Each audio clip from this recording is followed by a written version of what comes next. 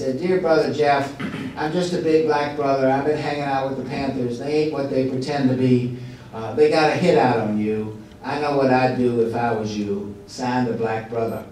And uh, they sent this to Fort, and it said the purpose of the letter was to seek retaliatory action. Uh, and, and so uh, Fort apparently maybe didn't believe this black brother sounded too black to him, but he didn't take retaliatory action. Uh, and when we, we uh, on the witness stand, we, we questioned the, the head of the FBI who'd signed off on that action, and we asked him, what's a hit? He said, there was, he said, the hit is a nonviolent attack.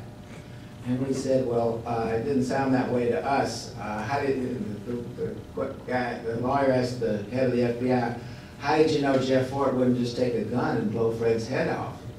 And he said, well, uh, we knew that the COINTELPRO program was nonviolent. And the lawyer said, well, did anybody ever communicate that to Jeff Fort? You know, he had a sixth grade education. Was he told that the program was nonviolent?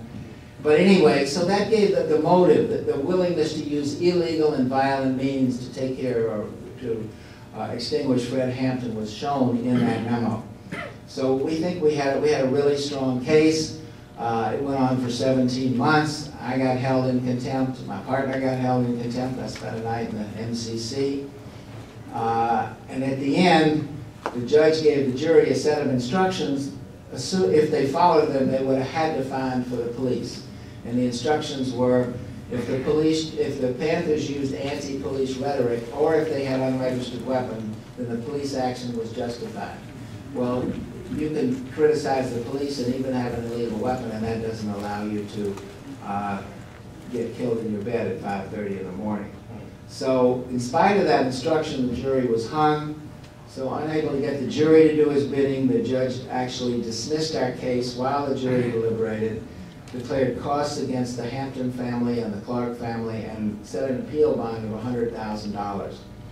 And that was a pretty low day. Um, and we didn't, we finally, after licking our wounds and feeling bad, we, we got our act together. We wrote a 230-page appeal in which we laid out all this information. The last line of our appeal was power to the people. and we were pretty heady or pretty angry or nothing left to lose, I guess, uh, at that point. And we actually got a reversal, and they said we had presented more than enough evidence to go to the jury on the conspiracy of the, of the FBI and the, and the uh, local police, and they reversed my contempt. And they even said we could use the evidence that the FBI hid files as evidence of guilt in the next trial. We eventually got a settlement of about 1.85 million, which isn't a huge amount in today's day, given that there were four people shot and two people who were killed. But this community was still divided. It would be very hard to get a jury verdict with some white people on it uh, in that case. And when I talked to Iberia Hampton, Fred's mother, she said, I said, well, what do you think? And she said, they got away with murder. And that's true also.